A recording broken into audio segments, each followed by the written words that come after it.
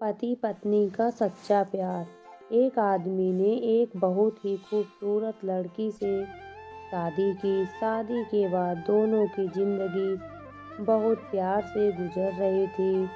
वह उसे बहुत चाहता था और उसकी खूबसूरती की हमेशा तारीफ़ किया करता था। लेकिन कुछ दिनों के बाद लड़की चर्म रोग से ग्रसित हो गई। और धीरे धीरे उसकी खूबसूरती जाने लगी।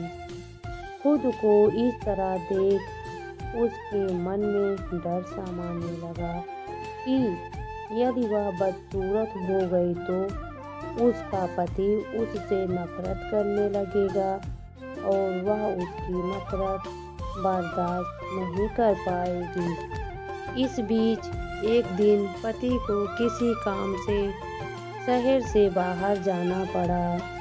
काम खत्म कर जब वह घर वापस लौट रहा था, उसका एक्सीडेंट हो गया। एक्सीडेंट में उसने अपनी दोनों आँखें खो दी, लेकिन इसके बावजूद भी उन दोनों की ज़िंदगी सामान्य तरीके से आगे बढ़ती रही। समय गुजरता रहा और अपने चर्म रोग के कारण लड़की ने अपनी खूबसूरती पूरी तरह जमा दी। वह बदसूरत हो गई, लेकिन अंधे पति को इस बारे में इसलिए इसका उनके खुशहाल विवाहित जीवन पर कोई प्रभाव ना पड़ा। वह उसे उसी तरह प्यार करता रहा।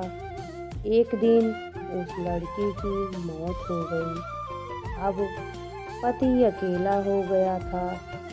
वह बहुत दुखी था।